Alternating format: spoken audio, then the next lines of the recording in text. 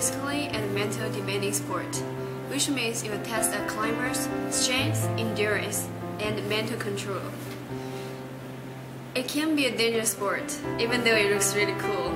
So, to know how to use the proper climbing techniques and specialized equipment are really important for your safety to complete the whole route.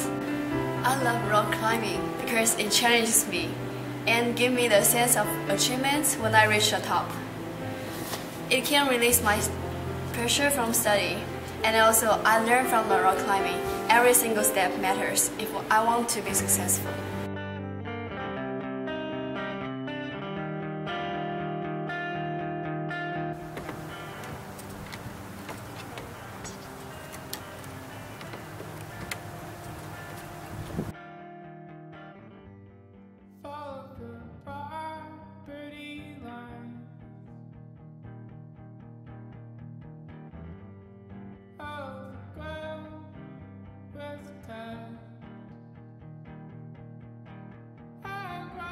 Um, well, I've been climbing for I think five or six years, and I started climbing one day here, and they said I'm here so often, so I decided to get a job, and it's a really easy job because I get to get paid for what I love to do anyway.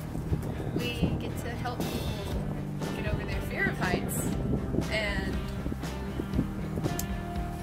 let them get a climb good up workout. the wall. Yeah, it's a full body workout.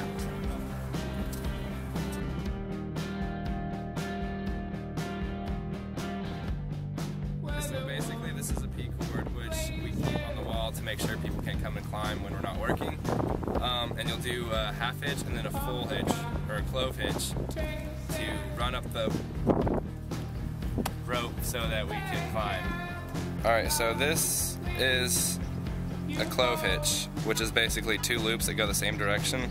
And you go on the back side, and that locks it up so it won't go anywhere. So we can pull it up, and then I'll just do a half hitch on the top, just to make sure it'll fit through the bolts at the top, and a third one, and then it's ready to be pulled up.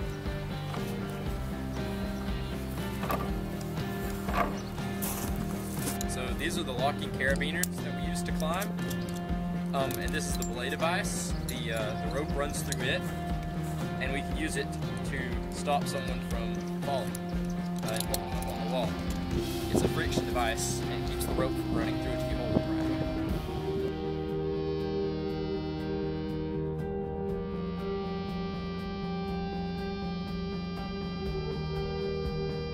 I really enjoy working at the climbing wall because I've made a lot of really good friends like Rachel. Yeah. we both started like Yeah, I didn't know last fall.